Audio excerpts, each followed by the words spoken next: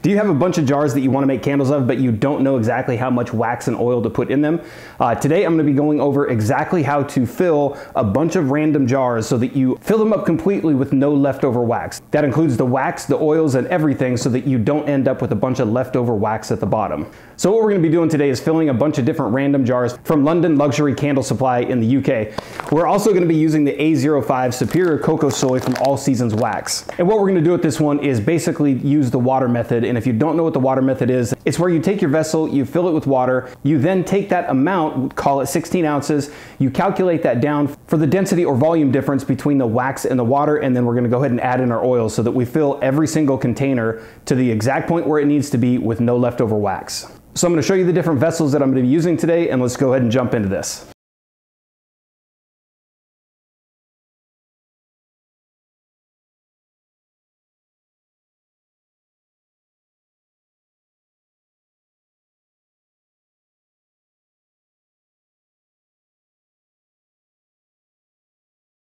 Okay, so here are the four different vessels I'm going to be choosing for this one.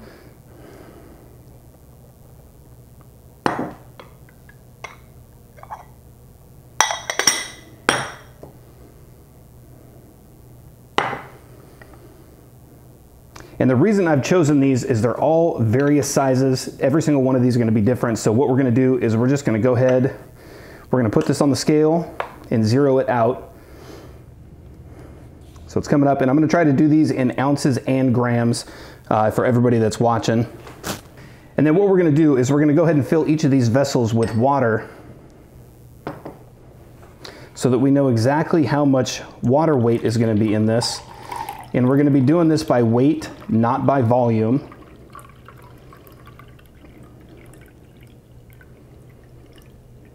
And you want these to go up probably about 85, 90% of the way. We're gonna go ahead and take this one to right about there. We're looking right at 13.9, 13.9 ounces of water. And then we're gonna go ahead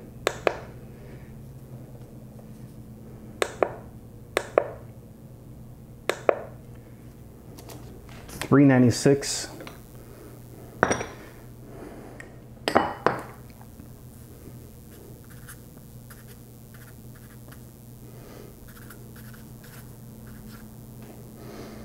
396 grams. We'll go ahead and we're gonna go ahead and fill this next one. Zero that out.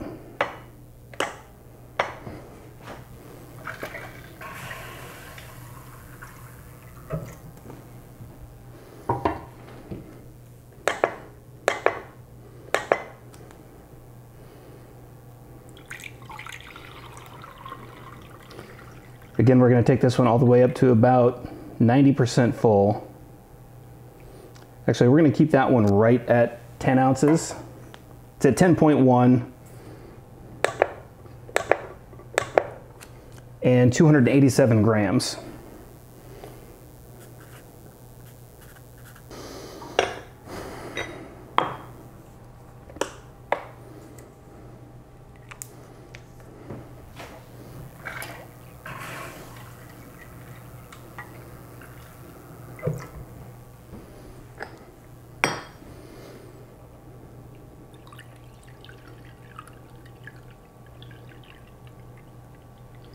Can't really see this one on the video too well, but that's right about 90%. We're gonna go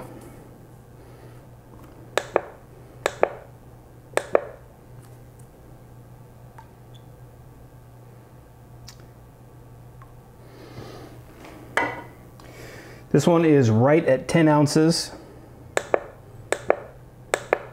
and 283 grams.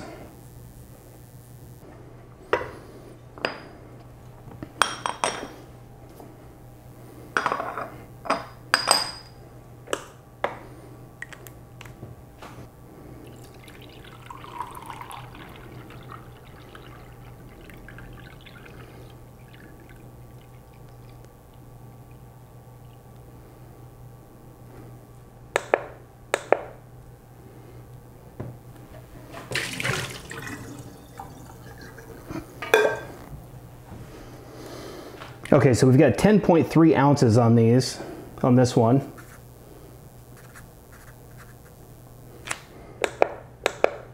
Two ninety-two grams. A couple of these came out to right around 10 ounces. I thought they were gonna be a little bit different, but it's not gonna matter in what we're doing.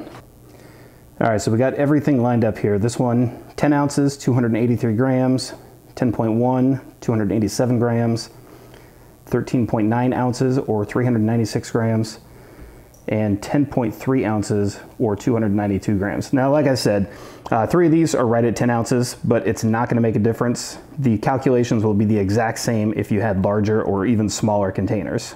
Okay, so what we're gonna do is we're gonna go ahead and add up all the ounces, every single one of these together. So we've got 10, 10.1, 13.9, and 10.3, which is gonna come up to 44.3 ounces, or 1,258 grams for all these. Now what we're gonna do with this one is obviously, like I said earlier in the video, if you, if you haven't watched my other video, 44.3 ounces of water is not gonna be the same as 44.3 ounces of wax because water uh, is more dense, the wax has more volume, and I, I'm gonna bring up a picture. You see in the picture that 16 ounces of water goes to 16 fluid ounces, whereas 16 ounces of weighed wax actually fills 21 fluid ounces in the, in the measuring pitcher. So we need to account for that. So what we're gonna do is we're gonna take the 44.3 44.3 ounces and since there's a difference of so like I explained in the last so like I explained in the other video uh, if you're looking at cubic centimeters of wax and water, they're a little bit different. So a cubic centimeter of water, we call that one, one to one, whereas wax is gonna be a little bit less. It's right around 0.8. So what we're gonna do is we're gonna take the 44.3 times 0.8, and we're gonna take the grams, 1258, we're gonna do the same thing, 1258 times 0.8. The ounces is gonna come out to 35.44 grams is gonna come out to 1,006. So basically what this means, instead, if we were gonna add water to every single one of these, it's gonna come out to 44.3 ounces of water at 1,258 grams of water. Now, if we add 44 ounces and 1,258 grams of wax, it's gonna overflow. It's gonna be way too much because there's a lot more volume. Uh, the water is more dense. So we need to reduce that down a little bit. So 35.44 ounces of wax and 1,006 grams of wax is gonna equal the same as the water. It's gonna come out to the same volume. It's still gonna fill every single one of these to the exact point that we did. So now that we have these, we have to take into account the oils that we wanna put into this. And since we're using the Superior Coco Soy, the A05, uh, we're gonna add about 8% oil to this one. So now you can't just add, we came out to the exact measurements here. So to fill these all perfectly, it's gonna be the measurements that we have here. Now if we add oils on top of this, it's gonna overflow. So we need to take into account and reduce these down by the 0.8% that we want to have in this. And then in order to do this one, we're gonna do another calculation. Very easy. What we're gonna do is 35.44 divided by 1.08, which is going to be our 8%. And then we're also going to do 1,006 divided by 1.08. And the reason we're doing this one is because when you have 35.44 ounces of, of wax, 1,006 grams of wax, you can't just multiply your percentage. 35.44 times 0.08, you will come up with an oil ratio that's going to fit a little bit, but it's going to be a little bit over. So this one actually removes the exact amount of wax from this one so that we can then add the oil back in here and it equals 35.44. Now if you do it the other way, your oil is actually to be a little bit more. So if we did this one, if we just went 35.44 times 0.08 and then reduced that, subtracted that from the 35.44, your oil ratio is actually going to go up. It's going to be up around 9%. So this one is going to be 32.81. And down here in the grams, we've got 931.4. And then of course the difference between these, so what we're gonna do is take 1006, subtract 931.4. We're gonna take 35.44 ounces and subtract 32.81 and this will come up with the exact oil percentage that we're gonna add back to that.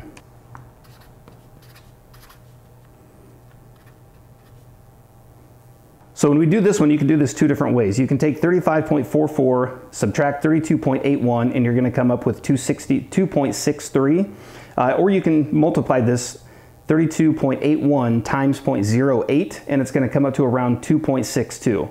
So we're gonna go under just a little bit because we don't wanna add too much oil. Now obviously the 2.62 and 2.63 is not gonna be a huge difference, but we're gonna go ahead and calculate just under so that we don't accidentally get sweating inside the candle when it hardens. And then with this one, we're gonna do the exact same thing. So if we take 1006, subtract 931.4, we come up with 74.6. And if we multiply this 931.4 times 0.08, which is our oil percentage, we come up with 74.5. Now again, the difference is very little, but we're gonna go ahead and add just under. So we're gonna go ahead and measure out the wax and then add our oils. All right, so I've got the pitcher on here. We're gonna go ahead and add, like I said, we're using the Superior Coco Soy A05 from All Seasons Wax.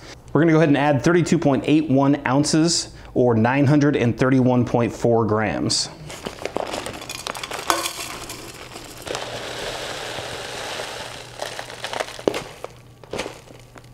Okay, so we've got 931 grams of wax in here,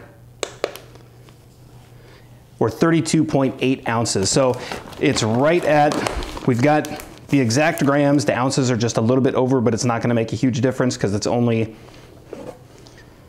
a 0.3 difference. And then we're gonna go ahead and melt this down. Okay, and for the oil, we're gonna go ahead and add 74, 74.5 grams of oil.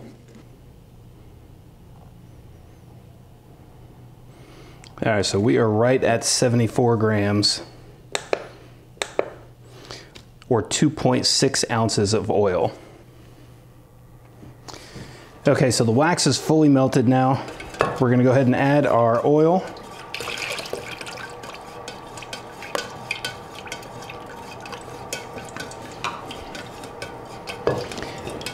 Stir that for a minute and then we're gonna go ahead and pour and all four of these should come out to exactly where we measured with the water.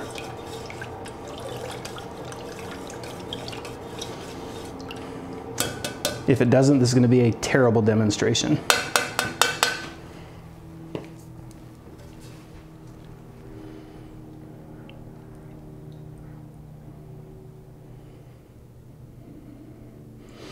We'll go back through and fill those. I just want to get wax in all of them.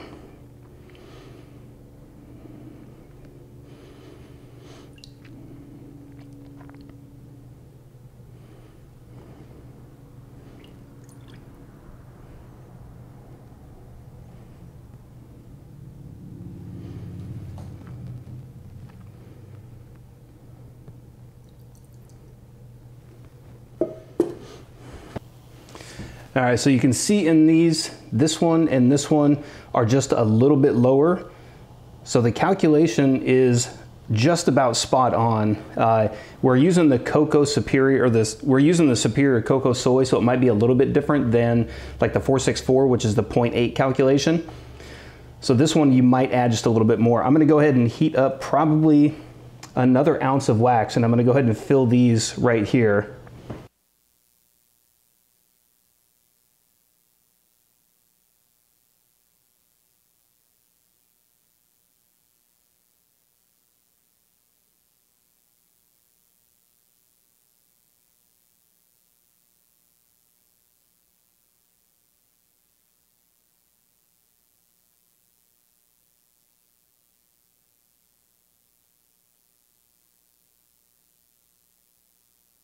All right, so you can see once I got done with that, I added about a half ounce, maybe a little bit more, maybe closer to an ounce of wax and then filled those just a little bit. It didn't take much, so the calculation was really close.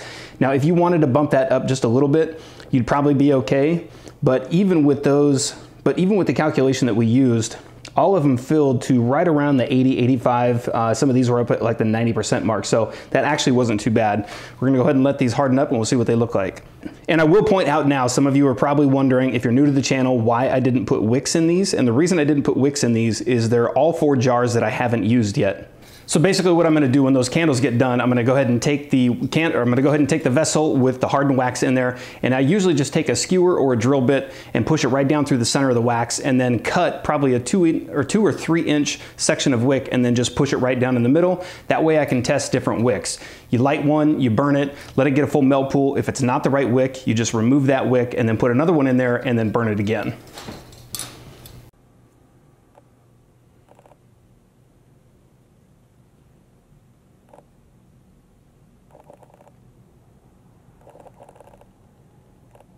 All right, so that's pretty much it. That's exactly how you fill a bunch of different containers if you don't know exactly what the amount is uh, as far as wax, oil, and, and everything else that goes into them. Now you can see in the video it was a little bit off. It actually wasn't that bad, so you might bump that up just a little bit depending on the wax that you're using. So, so if you're bouncing between like beeswax or Parasoy 464 or the coconuts or the Superior coconut soy, you might alter that just a little bit. You can see it was probably maybe like an ounce off, so it actually wasn't that bad. And like I was saying at the end of the video, I didn't wick these on purpose.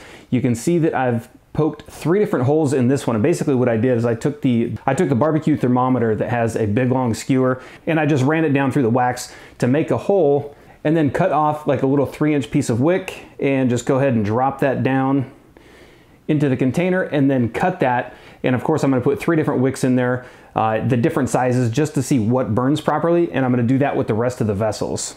And again, that's probably the best way to test a vessel like that uh, because you definitely don't want to ruin the vessel by putting wicks in it, burning it all the way down, and then you've got to remove them all. Doing it this way, you can definitely find the right wick for the right vessel, and then once you're done, you can melt all the wax out of that and then reuse the vessel. So I hope that video was at least helpful. I had somebody ask me about a week ago specifically about this question, which is why I wanted to make this video. So uh, if I glossed over anything or if, the, and I'm hoping the calculations are correct, I've messed up a little bit on some of the ones in the past. So I think everything is good in this one. Like I said, it was off just a little bit. You might bump that up just a little bit more to accommodate for some of the different volume or the density differences between the waxes. So of course, if you have any questions, please ask in the comments down below. I'll try to go through and update and answer those. And if you'd like to see another video like this one, please let me know in the comments also. And then of course you can follow me on any of the social media platforms that I've listed in the video description down below. Instagram, Facebook, my website, the email address if you want to reach out. And of course, if you liked the video, give it a thumbs up and thank you for watching.